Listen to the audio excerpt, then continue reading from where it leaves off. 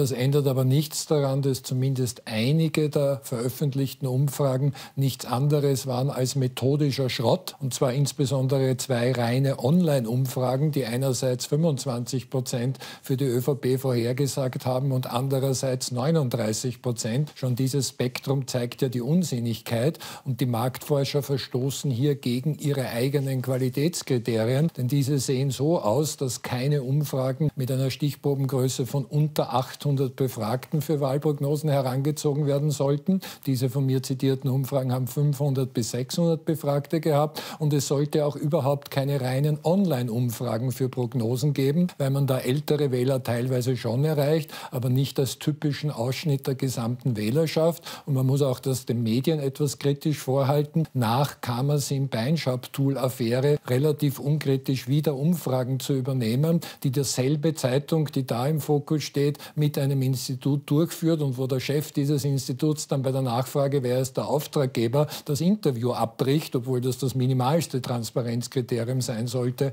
Wer zahlt denn eigentlich die Umfrage? Sonst werden wir jetzt sehen, ob die ÖVP mit einem schwarz-roten oder einem schwarz-andersfarbigen Auge davongekommen ist.